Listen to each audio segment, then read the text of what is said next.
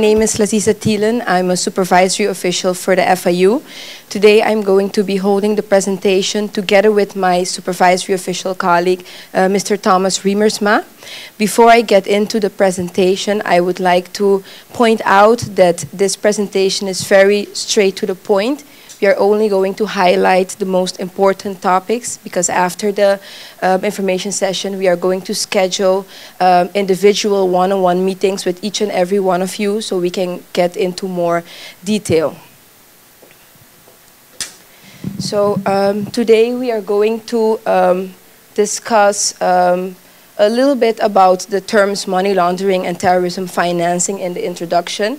Then we're going to talk about the anti-money laundering and counter-financing of terrorism uh, legal framework here in St. Martin. We're going to um, uh, tell you a little bit about what the FIU does, the services that are relevant for the accountants, uh, compliance requirements, uh, the next steps of the supervision, and we're going to um, close uh, with some recent events. Now, I think we are all familiar with money laundering and terrorism financing. Money laundering is basically um, processing uh, the proceeds of crime to hide or disguise their illegal origin. Uh, most of the people, they associate money laundering with the laundering of drug money. But it's not only drug money. It's um, the proceeds of any criminal offense, such, for example, uh, tax evasion terrorism financing is uh, basically directly or indirectly, willingly uh, providing or collecting funds for terrorist activities. For example, uh, when you donate funds to a church or a foundation that supports, uh, supports uh, terrorist groups. Worldwide, there is uh, awareness for the prevention of money laundering and terrorism financing. The International Organization Financial Action Task Force, in short, the FATF, has issued uh, rules, um, we call them the recommendations, that need to be implemented in the national legislations of the member countries. Um, according to recommendation 29, a member country needs to establish a national center for the receipt and analysis of unusual transactions or suspicious transactions. Before uh, there was a central FIU, um, because the, the national center we call the FIU, Financial Intelligence Unit. So there was a national center um, uh, for receipt and analysis of UTRs um, for the Netherlands Antilles. There was an FIU for the Netherlands Antilles. Um, after 10-10-10, that St. Martin and uh, Curacao became a country, uh, St. Martin established its own uh, FIU and Curacao remained with its FIU. Now since 2011, um, St. Martin is a member of the Caribbean Financial Action Task Force, the CFATF, which is a regional counterpart, uh, counterpart of the uh, FATF. Um, recently, in January 2013, we had uh, our mutual evaluation. So St. Martin as a jurisdiction was evaluated to see uh, whether it complied with the FATF recommendation. Now St. Martin scored so-so, uh, so not very well. Out of the 16 key and core recommendations, uh, we only met uh, two of them, and the main reason is because our legislation was not up to date with the FATF standards. So whenever we um, refer to the recommendation in uh, this presentation is because we are currently still updating our legislation to implement it um, in our framework. Now, the relevant uh, AML CFT legislation for St. Martin is the National Ordinance Reporting Unusual Transactions, in short, NORUT, which contains uh, rules about reporting unusual transactions.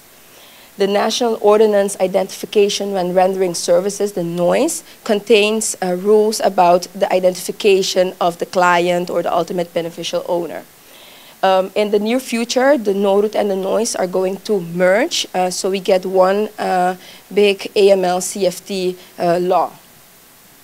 Then we have the ministerial degree on indicators, which was recently amended in 2016, and it is based on Article 10 of the NORUT, and it contains um, indicators that can be used uh, when reporting unusual transactions to the FIU. Um, of course, we have the Penal Code of St. Martin, which contains uh, the criminal offenses, uh, money laundering and terrorism financing, which are applicable um, for our subject today. Um, the provisions and guidelines, the PNGs as we call it, for the non-financial entities, uh, which the FIU has issued for each sector, um, uh, they contain detailed information about the uh, compliance obligations that you have. And, it's, and it is based on Article 22H of the NORUT, um, so it is a binding uh, document. Um, last but not least, we have the sanctions degree, um, which is a um, degree that contains measures that need to be taken when dealing with persons or countries that have been sanctioned by, for example, the UN, because uh, uh, the UN issues a sanction list with names of persons, uh, organizations, or countries uh, that have been sanctioned for, for example, uh, terrorism. Now, uh, the legal basis for the FIU St. Martin is situated in Article 2 of the NORUT, and that is based on uh, FATF Recommendation 29.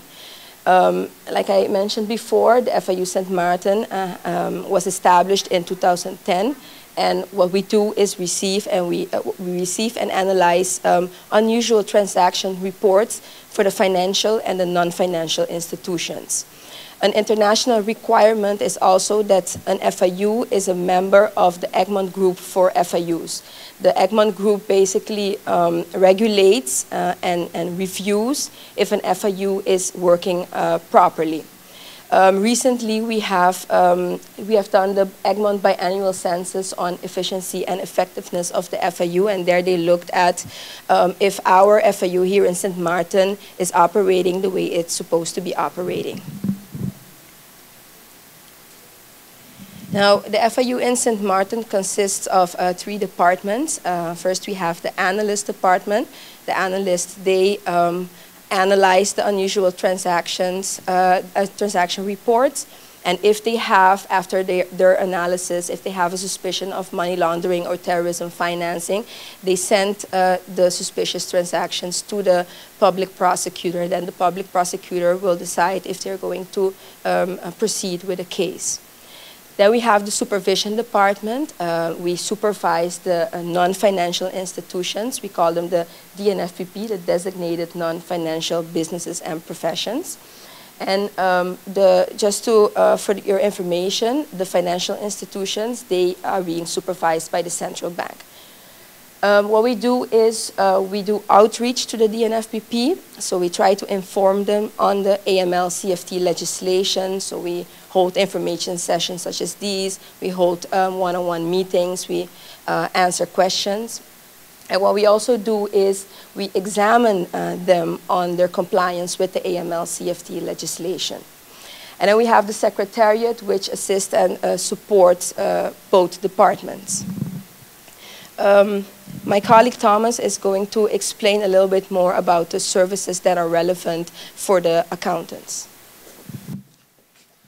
Uh, thank you so much, uh. Good evening, uh, ladies and gentlemen. My name is uh, Thomas Riemersma. I'm also a supervisory official for the, for the MOD. And in this slide, I'm going to discuss with you the scope of uh, the law as it is uh, mentioned in uh, Article 1 paragraph 1a, so 15 of, of the NORUT, uh, which gives a description of the services that fall under the law. And that's relevant because not all of the services that accountants deploy fall under this article. Now, let me start by uh, reading the head of the uh, article and uh, deduct some of the elements and discuss them, give some examples, and continue in that way.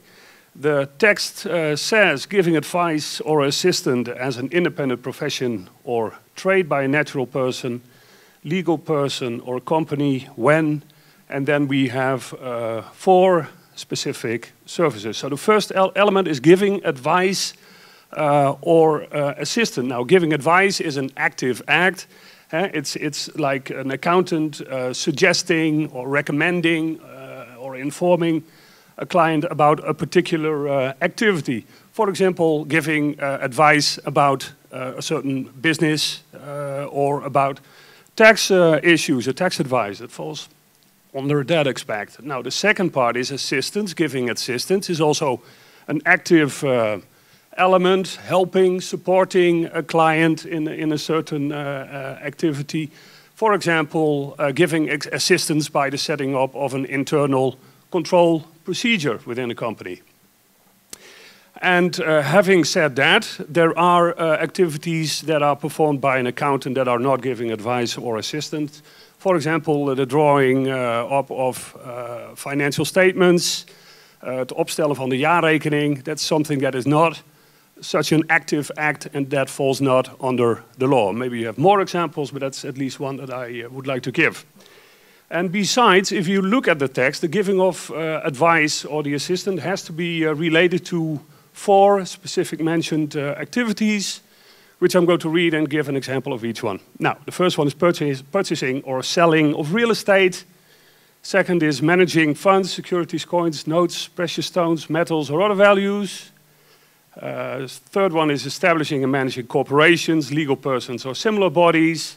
And the fourth one is the buying or selling or taking over of, of, an enterprise. So only limited four. And these typical four services are picked because they are internationally considered to be attractive for criminals that want to uh, launder their uh, money and need the, the desired expertise of accountants and even other mentioned DNFBPs. So let me go to the next slide and give some examples.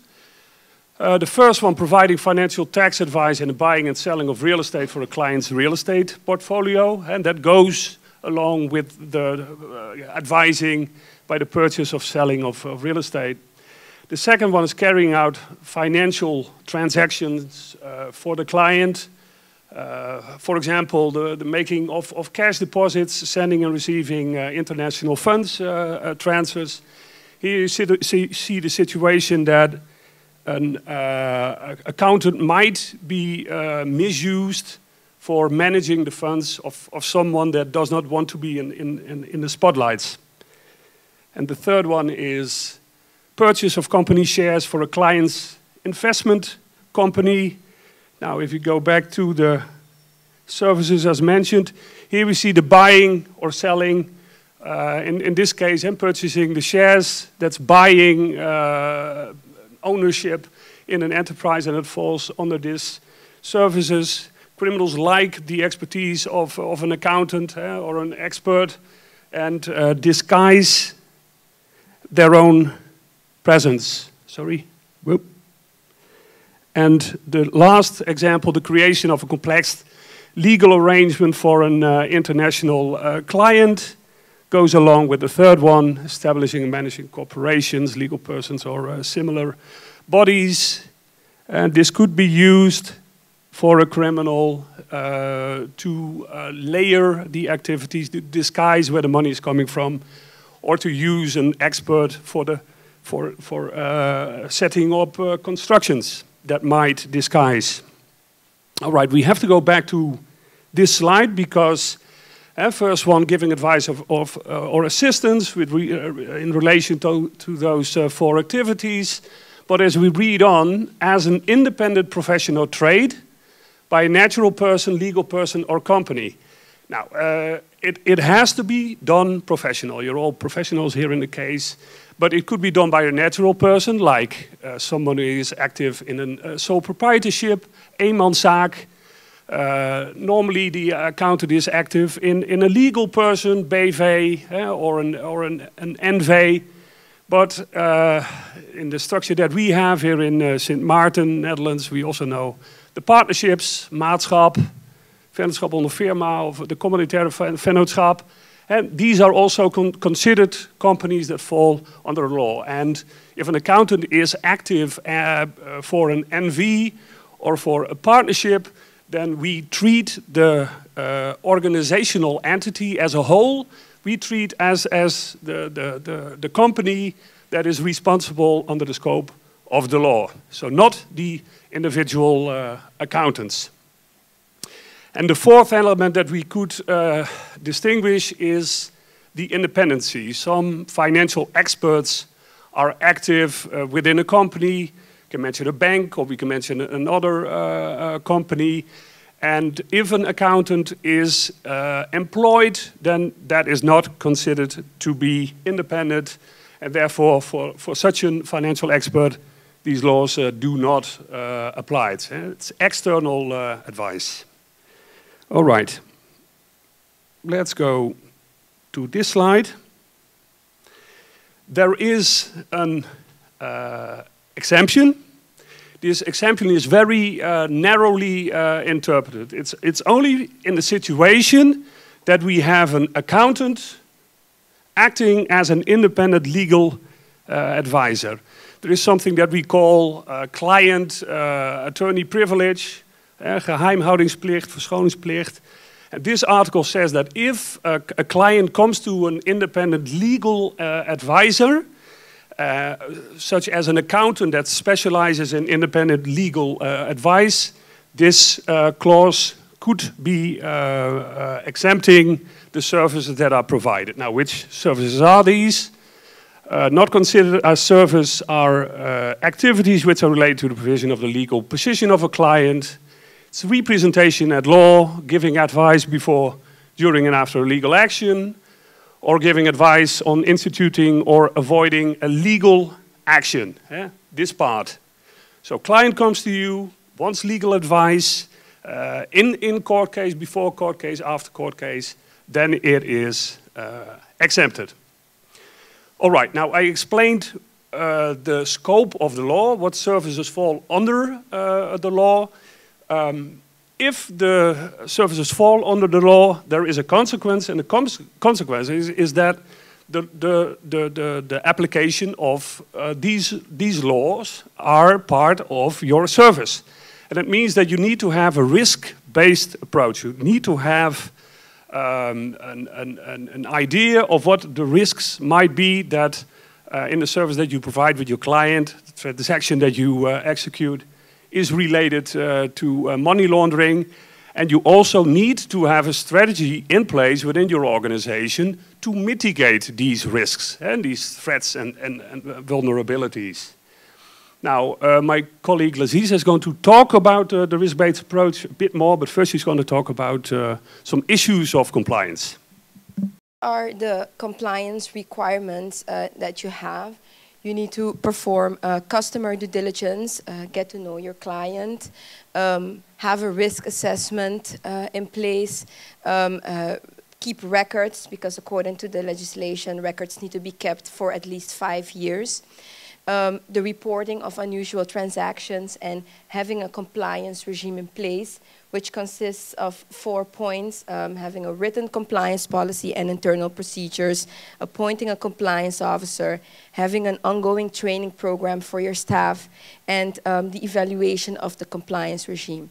I'm uh, going to get into this, these um, uh, points um, in the next slides. Now, uh, my colleague just touched on uh, uh, the RBA, the risk-based approach. This is where you look at uh, the overall risks involved uh, for your sector, for the products um, provided, for the services provided. Um, and part of this risk-based approach is that you need to perform risk assessment on your clients when providing services. And then in relation with uh, the transactions, the products, uh, or the geographical area. So you need to have a uh, risk assessment. Now, the risk assessment goes hand in hand with the customer duty. Um, for example, um, you need the risk assessment uh, to tell you, to indicate which customer due diligence you need to perform. And on the other hand, you need certain elements of the uh, customer due diligence um, to answer certain questions of the risk assessment. For example, if you um, uh, you need to identify uh, the, uh, your client or the ultimate beneficial owner because if you don't identify them, then you will you would not know if uh, what what nationality they have. So you can't answer the question if the client uh, comes from a high risk country, uh, yes or no. So they go hand in hand. Now, when you do this risk assessment, you create a risk profile for each client. Now, um, this uh, risk profile, profile might be um, low, medium, or high. Um, an example of a low risk is when you're dealing with uh, state-owned businesses, such as GEBE um, uh, or the harbor. Those are um, low risk. And in a case of a low risk, you have the possibility to perform a simplified customer due diligence. Um, but uh, you cannot perform the simplified uh, due diligence regardless of you uh, having a low risk as an outcome when you have a suspicion of money laundering or terrorism financing because then you can't perform the simplified due diligence in any case. Uh, the medium risk as an outcome indicates that you don't have a low risk and you don't have a high risk. And in that case, you perform a standard customer due diligence. Um, but the most um, important one of all is when you have a high risk, because in that case you have to perform an enhanced customer due diligence, an extra critical, thorough approach uh, to the due diligence measures. Now, an example of a high risk is when you are dealing with a PEP, as we call it, a politically exposed person, uh, which is a person in a public prominent function um, locally or internationally, and not only themselves as persons, but also uh, their family members or close associates. Um, uh, so like I said, in those cases, you have to perform the enhanced due diligence and ask more questions, ask for the source of funds, be extra critical. Now, when do you have to perform the customer due diligence and the risk assessment? Uh, when establishing a business relationship uh, with a client or when you carry out occasional transactions above the threshold of 25,000 guilders or above or an equivalent in other currencies. Um, when the information you already have in your files of the client is not accurate or not valid, or when you have a suspicion of money laundering or terrorism financing. Now, um, two, uh, the two most important points of the customer due diligence is uh, identifying your client and if the client is a company, the ultimate beneficial owner of the company. Now, how do you uh, identify a natural person? By asking for a valid driver's license, identity card, or passport. Now, natural persons can be um, the client themselves, representatives of companies, um, and of course the ultimate beneficial owner, because that will be um, a natural person uh, that holds 25% or more shares in the company. Um, if you have a company as a client, then the company needs to be identified as well. And you do that um, by asking for a certified extract of the Chamber of Commerce or a similar document um, in the country of establishment of the company. Um, but let's say if at the moment of the identification you, um, you cannot acquire this document from the company, they cannot provide it to you, then you can draw up an identification document uh, which contains, which covers all the required information that you normally would find on a company registration document. Um, so I um, highlighted the two most important uh, uh, points of the customer due diligence. In the individual meetings, we will go into um, the rest of the customer due diligence and um, the deviation, so the simplified and the enhanced customer due diligence. Now, um, we are going to touch on these uh, subjects, the risk assessment and the CDD, um, by showing you a case example, which uh, Thomas is going to um, explain to you. Yep, thank you. Yes, uh, we uh, thought it would be uh, nice to apply the information that we gave, gave uh, thus far in a case. So let's read the case and maybe you have any suggestions. New client is requesting an accounting firm uh, to perform a due diligence investigation, a DDI, for the purchasing of a company. The client, Johnny Cake BV, established in St. Martin, is represented by its director, who is a politician. The director identifies himself through a copy of a passport. It remains unclear who the UBO is. The accounting company accepts the client and starts the investigation. All right, now this, in this case, eh, you first have to establish if the service falls under the scope of the law, as I mentioned before. Here it's a, D, a DDI, what we consider to be an advice, and it's about taking over a company. So the fourth bullet, if you recall, applies. So this case falls under the law. Now that means that you have to uh, apply customer due diligence, what uh, Lasisa just uh, explained. Identification is part of the customer due diligence. Question is, has the identification duty been performed properly? What do you think? Anyone? Who has to be identified first in, in this case? Who's the client? Is that a politician? Yeah, it's Johnny Cake. Johnny Cake has to be uh, uh, identified, and as you can see in this case, it has not been. Uh, Laziza also explained how it has to be identified by an excerpt, extract of the Chamber of Commerce. Now, if it would be a foreign company, which it is not, it's local, uh, so it's fairly easy to uh, identify. Uh, let's look at the director. The, the director is a politician. Uh, did he identify himself correctly? A bit doubtful, eh? because what the text says is that he identifies himself through a copy of a passport. And remember that uh, you, as an accountant, you always have to see the valid, the original document. And you make a passport of, of the copy Eh? And, and, and, that has to be done. You have to see that the passport is valid. You have to verify the identity of the person that uh, identifies himself in front of you. So this is also not completely uh, uh, correct. Um, third part about uh, identification here in this case is that it remains unclear uh, who the UBO is. How does an ultimate beneficiary uh, owner, uh, who's actually the real owner, of the company? Uh, how uh, does a UBO have to be identified? Anyone? It's always a natural person, so a UBO always has to be identified in the ways that Laziza told. Uh, valid passport, identity card, or driver's license. Now, that has not happened here in this case, so no, the identification duty has not been performed properly. Second one is that uh, because of the application of the CDD, hey, you have to do risk assessment. She explained the risk categories. You look at the client, you look at the product, you look at the transaction. And there are very professional models on the market. But if you look at this simple case, what would be your outcome?